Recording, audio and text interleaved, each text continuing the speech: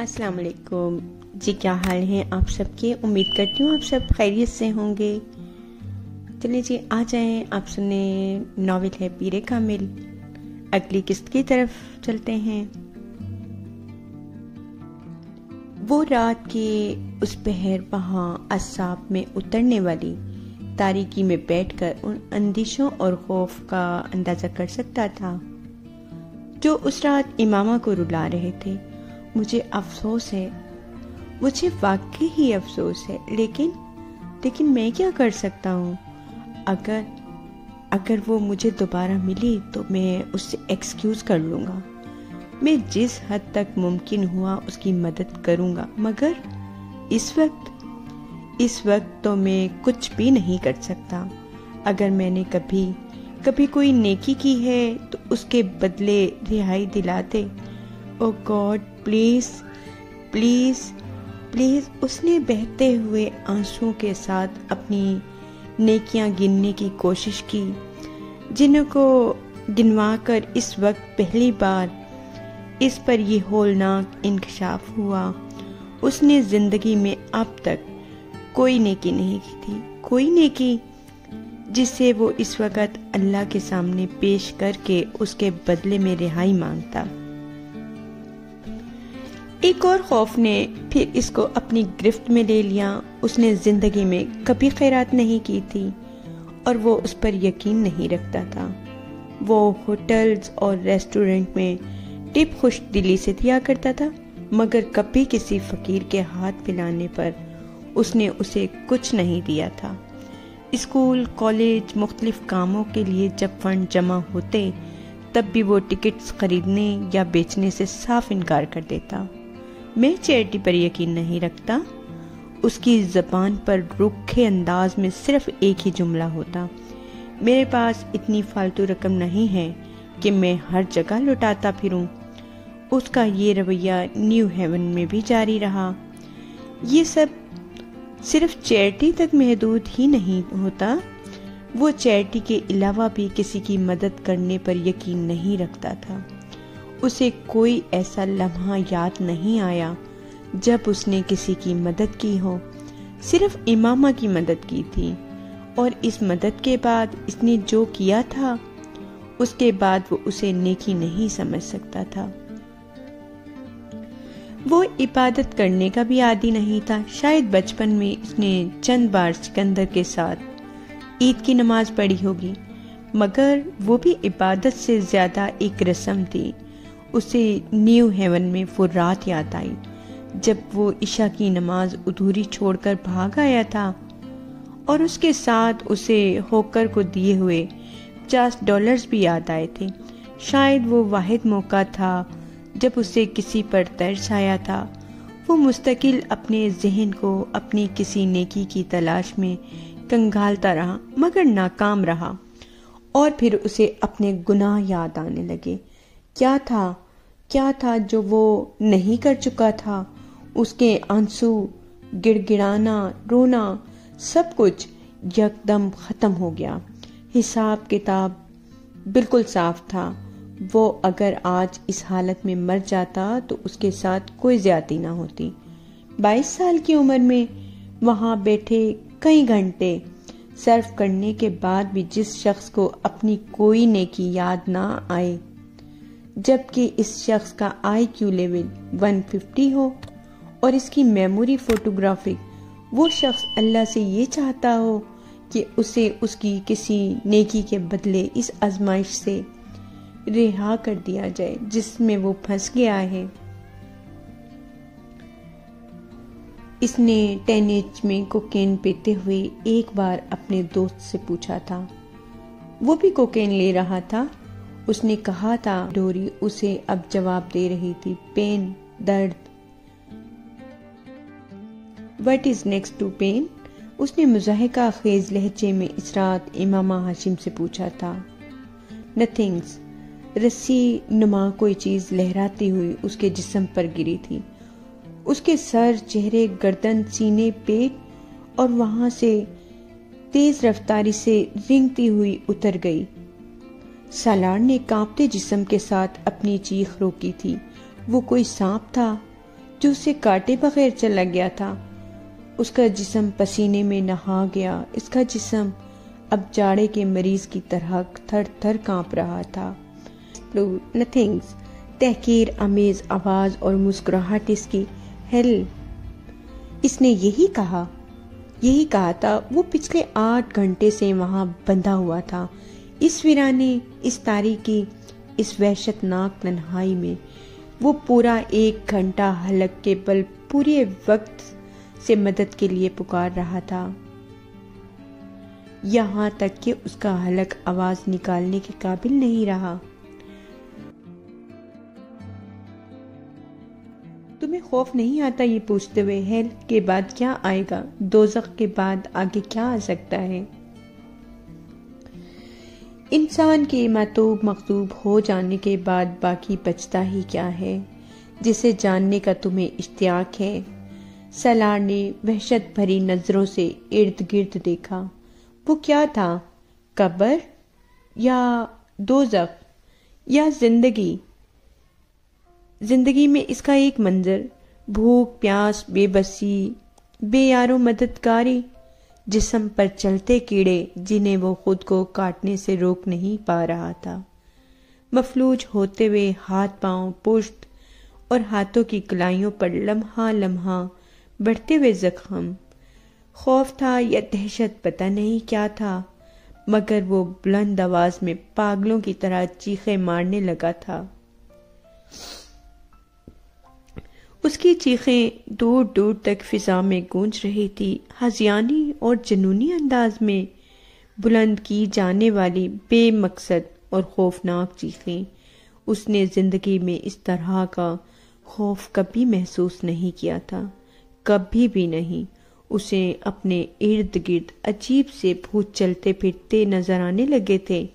उसे लगा था उसके दिमाग की रग फटने वाली है। या फिर नर्वस ब्रेकडाउन फिर उसकी चीखें आहिस्ता आहिस्ता दम तोड़ती गई।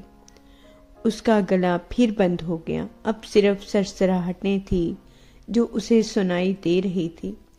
उसे यकीन हो चुका था कि वो अब मर रहा है। उसका हार्ट फेल हो रहा है। या फिर वो अपना जहनी तवाजन खो देने वाला है। और उसी वक्त अचानक तने के पीछे बंधी हुई कलाइयों की डोरी ढीली हो गई। होश हवास खोते हुए उसके असाब ने एक बार फिर झटका लिया। उसने निचला होठ दांतों में दबाते हुए अपने हाथों को हरकत दी। डोरी और ढीली हो गई। शायद मुसलसल तने की रगड़ लगते लगते दरमियान से टूट गई थी। उसने हाथों को कुछ और हरकत दी और तब उसे एहसास हुआ कि वो दरख्त के तने से आज़ाद हो चुका था। उसने बेयकीनी के आलम में अपने हाथों को सीधा किया। दर्द की तेज लहरें से उसके बाजुओं से गुजरी। क्या मैं बच गया हूँ? क्यों? किस लिए? माफ़ होते हुए जहन के साथ उसने अपनी गर्दन के गिर्द मौजूद अपनी पट्टी को उतारा। जो पहले उसके मुँह के गर्द बंदी गई थी। बाजुओं को दी गई मामूली हरकत से उसके मुँह से कराह निकली थी। उसके बाजुओं में शदीद तकलीफ़ हो रही थी। इतनी तकलीफ़ कि उसे लग रहा था वो दोबारा कभी अपने बाजू इस्तेमाल नहीं कर सकेगा। उसकी टांगे भी सुन हो रही थी। उसने खड़े होने की कोशिश की। वो लड़खड़ा कर बाजुओं के पल ज़मीन पर गिरा। हल्की सी चीख उसके मुँह से निकली। उसने दूसरी कोशिश हाथों और घुटनों के बल की। इस बार वो खड़ा होने में कामयाब हो गया। वो दोनों लड़के उसके जॉकर्स और घड़ी भी ले जा चुके थे। इसकी जराबें वहीं पड़ी थी। वो अंधेरे में उन्हें टटोल कर पहन सकता था। मगर बाजुओं और हाथों को इस्तेमाल में लाना पड़ता। और वो उस वक़्त ये काम करने के काबिल नहीं था, ना जिस्मानी तौर पर, ना जहनी तौर पर। वो इस वक़्त सिर्फ़ वहाँ से निकल जाना चाहता था। हर कीमत पर अंधेरे में ठोकरें खाता, झाड़ियों से उलझता, खराशें लेता, वो किसी न किसी तरह उस रास्ते पर आ गया था, जिस रास्ते से वो दोनों हटाकर उसे वहाँ ले आए थे। फिर नंगे पाँव उसने नीचे का सफ़र तय किया। उसके पैरों में पत्थर, कंकरियाँ चुभ रही थी, मगर वो जिस जहनी और जिस्मानी अजियत का शिकार था, उसके सामने ये कुछ भी नहीं था। वो ये नहीं जानता था कि वक्त क्या हुआ था, मगर उसे ये अंदाज़ा था कि आधी रात से ज़्यादा गुजर चुकी है। उसे नीचे आने में कितना वक्त लगा, उसने ये सफ़र किस तरह तय किया वो नहीं जानता। उसे सिर्फ़ ये याद था कि वो पूरे रास्ते बुलंद आवाज़ से रोता रहा था। इस्लामाबाद की सड़कों पर आकर स्ट्रेट लाइट की रोशनी में भी उसने अपने हुलिये को देखने की कोशिश नहीं की, ना ही कहीं रुकने की ख्वाहिश की। किसी की मदद लेने की और इसी तरह रोता हुआ लड़खड़ाते कदमों के साथ इस सड़क के किनारे फुटपाथ पर चलता रहा। वो पुलिस की एक पेट्रोलिंग कार की, जिसने सबसे पहले उसे देखा था और उसके पास आकर रुक गई।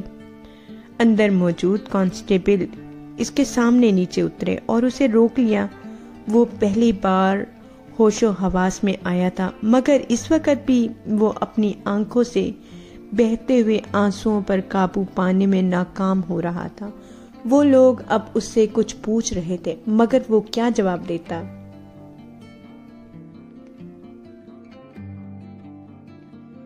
अगले पंद्रह मिनट में वो एक हॉस्पिटल में था जहाँ उसे फ़र्स्ट एड दी गई थी और इससे उसके घर का पता पूछ रहे थे। मगर इसका गला बंद था। वो उन्हें कुछ भी बताने के काबिल नहीं था।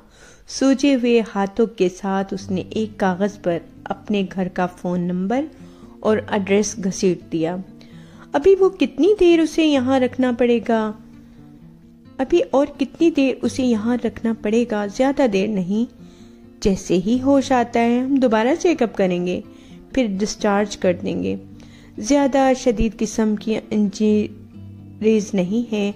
बस घर में कुछ दिनों तक मुकम्मल तौर पर रेस्ट करना पड़ेगा। उसका जहन लाशूर से शूर का सफ़र तय कर रहा था। पहले जो सिर्फ़ बेमानी आवाज़ें थी, अब वो उन्हें मफहूम पहना रहा था। आवाज़ों को पहचान रहा था। इनमें से एक आवाज़ सिकंदर उस्मान की थी, दूसरी यकीनन किसी डॉक्टर की। सालार ने आहिस्ता आहिस्ता आँखें खोल दी। उसकी आँखें एकदम चुंधिया गई। कमरे में बहुत तेज रोशनी थी। या कम अज कम उसे ऐसा ही लगा था। वो इनकी फैमिली डॉक्टर प्राइवेट क्लिनिक था। वो एक बार पहले भी यहाँ ऐसे ही एक कमरे में रह चुका था और ये पहचानने के लिए एक नज़र ही काफ़ी थी। उसका जहन बिल्कुल सही काम कर रहा था। जिसम के मुख्तलिफ़ हिस्सों में होने वाले दर्द का एहसास उसे फिर होने लगा था। उसके बावजूद अब वो एक बहुत नरम और आरामदा बिस्तर में था। उसके जिस्म पर वो लिबास नहीं था, जो उसने इस सरकारी अस्पताल में पहना था। जहाँ से उसे ले जाया गया था, वो एक और लिबास में मलबूस था। यकीनन उसके जिस्म को पानी की मदद से साफ़ किया गया था, क्योंकि उसे आधे बाजुओं वाली शर्ट से झांकते अपने बाजुओं पर कहीं भी मिट्टी या गर्द नज़र नहीं आ रही थी। इसकी कलाइयों की गर्द पट्टियाँ बंधी हुई थी। और उसके बाजुओं पर छोटे छोटे बहुत से निशानात थे। बाजू और हाथ सूजे हुए थे, वो अंदाज़ा कर सकता था। ऐसे ही बहुत से निशानात उसके चेहरे और जिस्म के दूसरे हिस्सों पर भी होंगे। उसे अपनी एक आँख भी सूजी हुई महसूस हो रही थी। उसके जबड़े भी दुख रहे थे, मगर उससे ज़्यादा बुरा हाल गले का था। उसके बाजू में एक ड्रिप लगी हुई थी। जो अब तकरीबन खत्म होने वाली थी, पहली बार उसको होश में डॉक्टर ने ही देखा था। वो उनका फैमिली डॉक्टर नहीं था, शायद उसके साथ काम करने वाला कोई फिजिशियन था। उसने सिकंदर को उसकी तरफ़ मुतवजा किया, होश आ गया है। सालार ने एक सोफे पर बैठी तैयबा को अपनी तरफ़ देखते पाया। मगर सिकंदर आगे नहीं आए थे। डॉक्टर अब उसके पास आकर उसकी नब्स चेक कर रहा था। अब तुम कैसा महसूस कर रहे हो? सालार जवाब में कुछ कहना चाहता था, मगर उसके हलक से आवाज़ नहीं निकल सकी। वो सिर्फ़ मुँह खोल कर रह गया। डॉक्टर ने एक बार फिर अपना सवाल दोहराया। सलार ने तकिए पर रखा हुआ अपना सर नफी में सर हिलाया और बोलने की कोशिश की। डॉक्टर शायद पहले ही उसके गले के प्रॉब्लम के बारे में जानता था। सालार ने एक बार फिर नफी में सर हिलाया।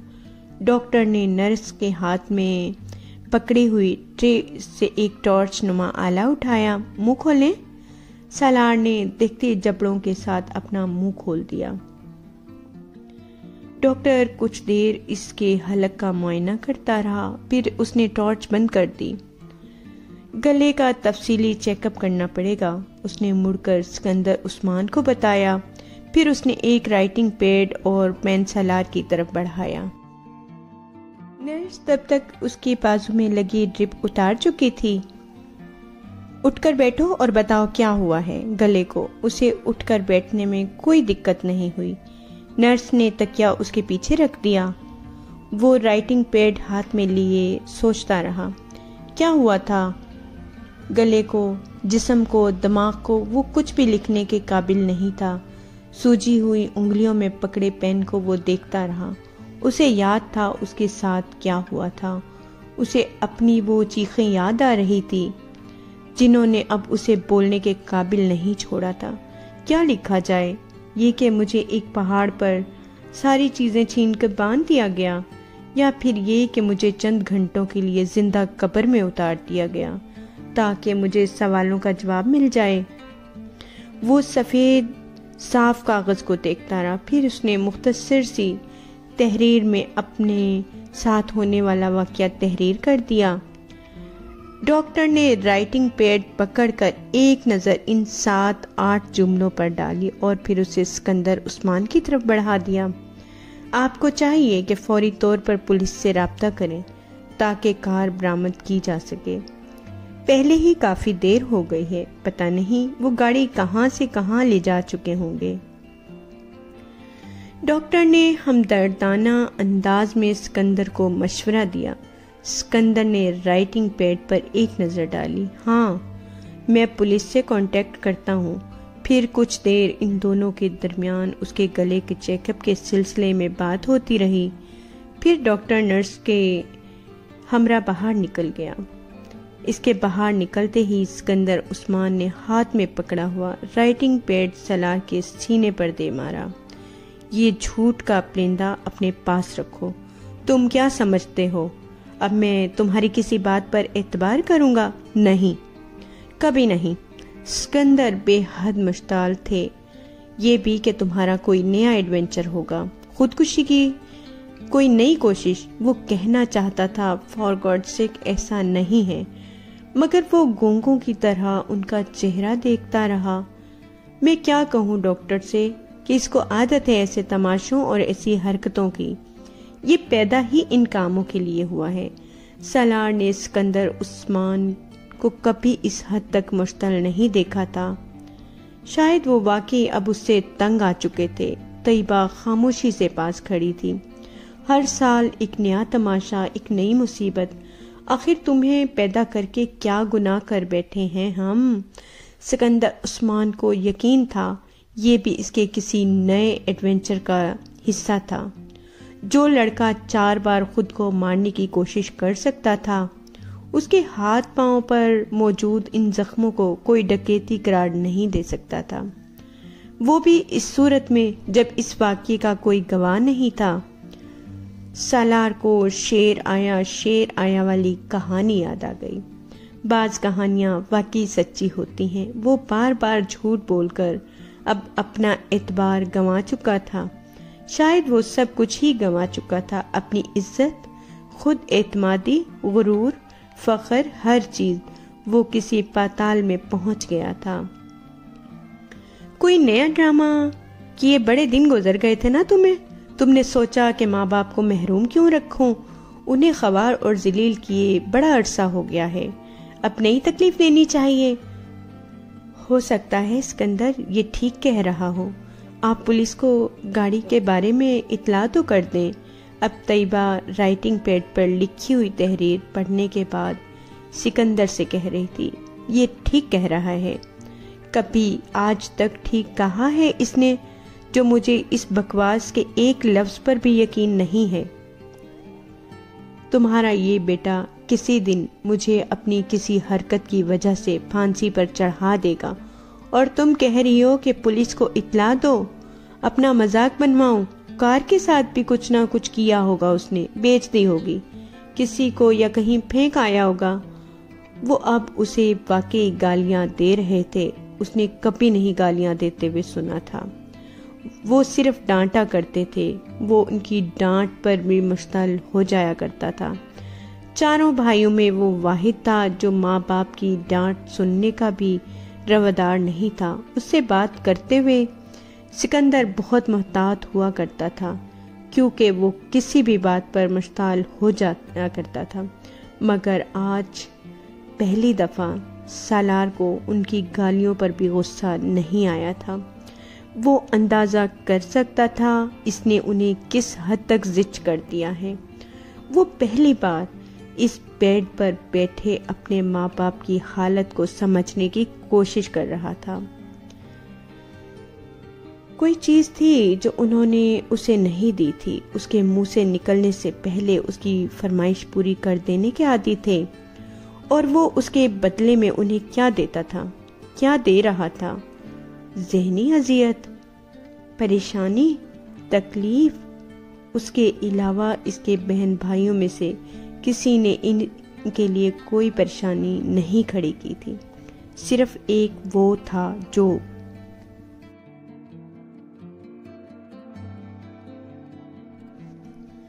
किसी दिन तुम्हारी वजह से हम दोनों को खुदकुशी करनी पड़ेगी।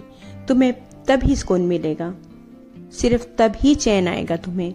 पिछली रात उस पहाड़ पर उस तरह बंधे हुए उसे पहली बार उनकी याद आई थी।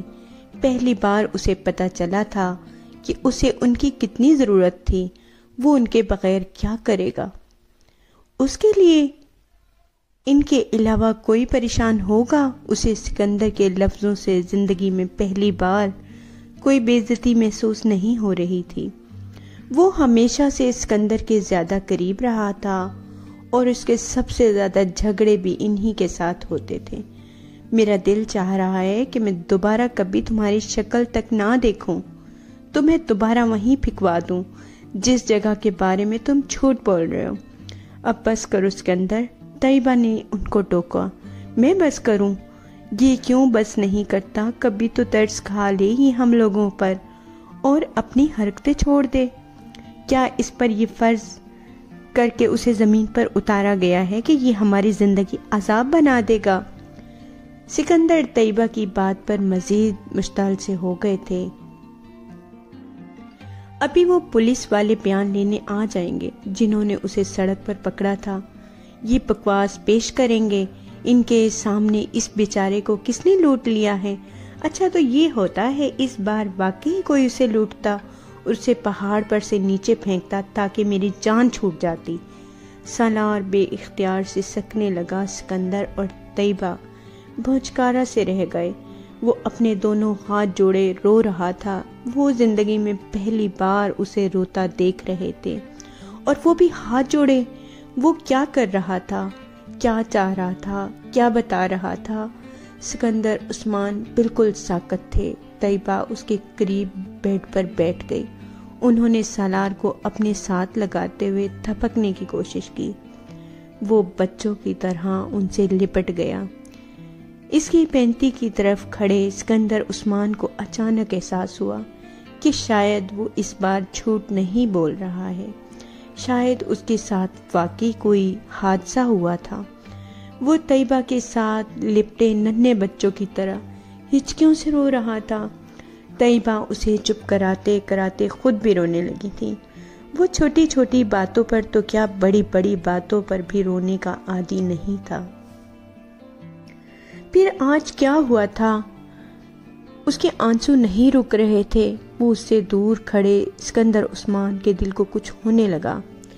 अगर ये सारी रात वाकई वहाँ बंदा रहा था तो वो सारी रात उसके इंतज़ार में जागते रहे थे और बिगड़ते रहे थे कि इनका ख्याल था कि वो गाड़ी लेकर फिर कहीं लाहौर या कहीं और आवारागर्दी के लिए चला गया होगा। उन्हें तशवीश हो रही थी, मगर वो सलार की हरकतों से वाकिफ थे, इसलिए तशवीश से ज़्यादा गुस्सा था और ढाई तीन बजे के करीब वो सोने के लिए चले गए थे, जब उन्हें फ़ोन पर पुलिस की तरफ़ से ये इतला मिली। वो हॉस्पिटल पहुँचे थे और उन्होंने उसे वहाँ बहुत अबतरी हालत में देखा था। मगर वो यकीन करने पर तैयार नहीं थी कि उसके साथ कोई हादसा हुआ था। वो जानते थे वो खुद को अजियत पहुंचाता रहता था। जो शख्स अपनी कलाई काट ले, वन वे को तोड़ते हुए ट्रैफ़िक की भीड़ में अपनी बाइक दे मारे, स्लीपिंग पिल्स ले ले अपने आप को बाँध कर पानी में उल्टा कूद जाए। इसके लिए एक बार फिर अपनी ये हालत करना क्या मुश्किल था। इसका जिसम कीड़ों के काटने के निशानात से जगह जगह भरा हुआ था। पास जगहों पर नीलाहट थी। उसके पैर भी बुरी तरह से जख्मी थे। हाथों की गलाइयाँ, गर्दन और पुश्त का भी यही हाल था। उसके जबड़ों पर भी खराशें पड़ी हुई थी। उसके बावजूद सिकंदर उस्मान को यकीन था कि ये सब कुछ उसकी अपनी कारस्तानी होगी। शायद इस वक्त वो बोलने के काबिल होता तो वजाहतें पेश करता। तो वो कभी भी इस पर यकीन ना करते, मगर उसे इस तरह हिचकियों के साथ रोते देखकर उन्हें यकीन आने लगा था कि वो सच कह रहा है। वो कमरे से बाहर निकल गए और उन्होंने मोबाइल पर पुलिस से रबता किया। एक घंटे के बाद उन्हें पता चल गया। सुरख रंग की एक स्पोर्ट्स कार पहले ही पकड़ी जा चुकी है और इसके साथ दो लड़के भी। पुलिस ने उन्हें एक मामूल की चेकिंग के दौरान लाइसेंस और गाड़ी के कागजात ना होने पर घबरा जाने पर पकड़ा था। उन्होंने अभी तक ये नहीं बताया था कि उन्होंने गाड़ी कहाँ से चीनी थी। वो सिर्फ़ यही कहते रहे कि वो गाड़ी उन्हें कहीं मिली थी और वो सिर्फ़ शौक और तजस्स से मजबूर होकर चलाने लगे, चूँकि पुलिस के पास अभी तक किसी गाड़ी की एफआईआर भी नहीं दर्ज हुई थी। इसलिए उनके बयान की तस्दीक मुश्किल हो गई थी, मगर सिकंदर उस्मान के एफआईआर के कुछ देर बाद ही उन्हें कार के बारे में पता चल गया था। अब वो सही मानों में सलार के बारे में तशवीश का शिकार हुए थे।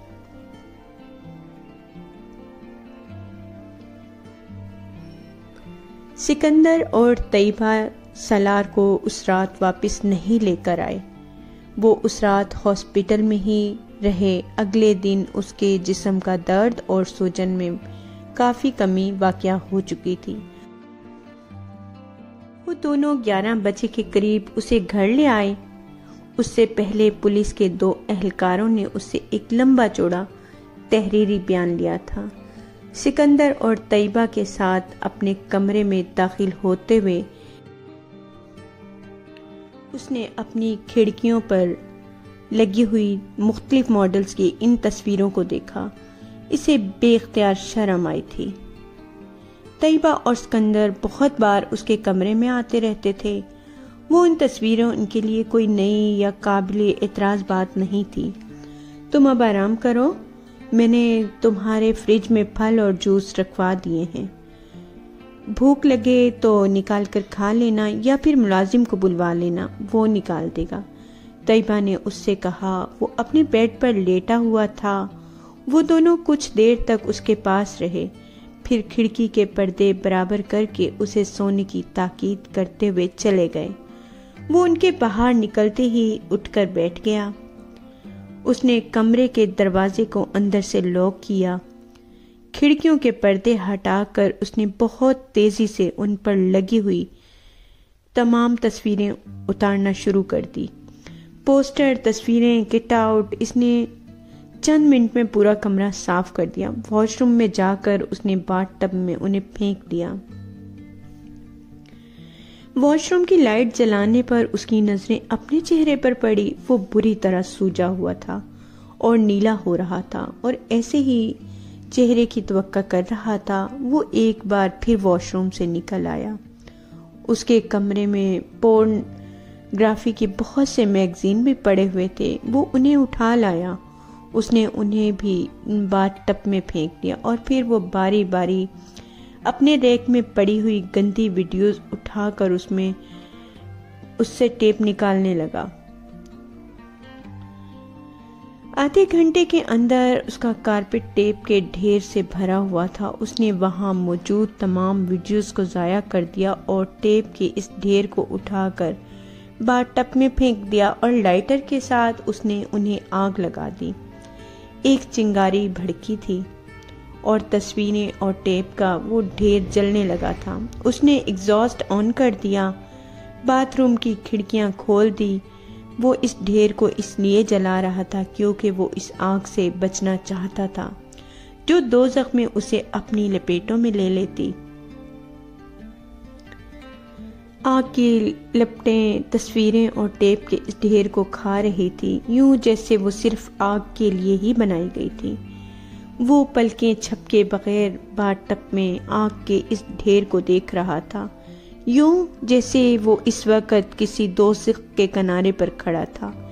एक रात पहले उस पहाड़ी पर इस हालत में इस्लामाबाद की रोशनियों को देखते हुए उसने सोचा था कि वो उसकी ज़िंदगी की आखिरी रात थी और वो उसके बाद दोबारा कभी इन रोशनियों को नहीं देख सकेगा।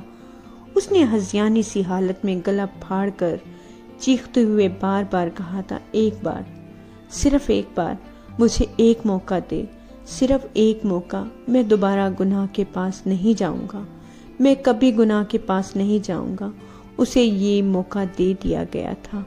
अब इस वादे को पूरा करने का वक्त था। आग ने इन सब कागजों को राख बना दिया था। जब आग बुझ गई तो उसने पानी खोलकर पाइप के साथ उस राख को बहाना शुरू कर दिया। सालार पलटकर दोबारा वॉश बेसन के सामने आकर खड़ा हो गया। उसके गले में मौजूद सोने की चैन को वो लोग उतार कर ले गए थे, मगर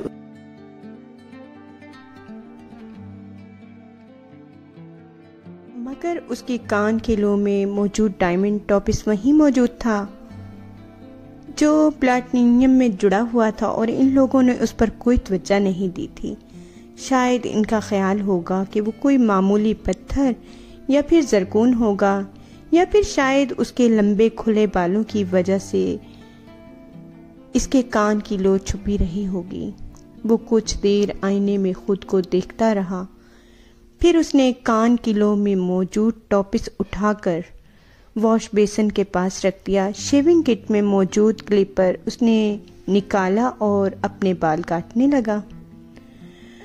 बड़ी बेरहमी और बेतरती के साथ वॉश बेसन में बहता हुआ पानी इन बालों को अपने साथ बहा कर ले जा रहा था। रेजर निकाल कर उसने शेव करना शुरू कर दी। वो जैसे अपने तमाम निशानियों से पीछा छुड़ा रहा था। शेव करने के बाद उसने अपने कपड़े निकाले, अपने हाथों पर बंदी पट्टियाँ खोली और शावर के नीचे जाकर खड़ा हो गया। वो पूरा एक घंटा अपने पूरे जिस्म के एक एक हिस्से को कलमा पढ़ पढ़ कर साफ़ करता रहा। यूँ जैसे वो आज पहली बार इस्लाम से मुतारिफ हुआ था, पहली बार मुसलमान हुआ हो। वॉशरूम से बाहर आकर उसने फ्रिज में रखे सेब के चंद टुकड़े खाए और फिर सोने के लिए लेट गया। दोबारा उसकी आँख अलार्म से खुली, जिसे उसने सोने से पहले लगाया था। दो बज रहे थे। माय गॉड सलार ये अपने बालों को क्या किया तुमने? तैयबा उसे देखते ही कुछ देर के लिए भूल गई कि वो बोलने के काबिल नहीं था। सालार ने अपनी जेब से एक कागज़ निकाल कर उनके सामने रख दिया। मैं मार्केट जाना चाहता हूँ। उस पर लिखा हुआ था, किस लिए? तैयबा ने उसे हैरानी से देखा। तुम अभी ठीक नहीं हुए हो। कुछ घंटे हुए तुम्हें हॉस्पिटल से आए हुए और तुम एक बार फिर आवारा गद्दी के लिए निकलना चाहते हो। तयबा ने उसे कदरे नर्म आवाज़ में छिड़का, मम्मी मैं कुछ किताबें खरीदना चाहता हूँ। सलार ने एक बार फिर कागज़ पर लिखा, मैं आवारागर्दी करने के लिए नहीं जा रहा हूँ। तैयबा कुछ देर उसे देखती रही, तुम ड्राइवर के साथ चले जाओ। सलार ने सर हिला दिया। वो जिस मार्केट की पार्किंग में गाड़ी से उतरा, शाम हो चुकी थी। मार्केट की रोशनियाँ वहाँ जैसे रंग व नूर का एक सिलाब लिए हुए थी।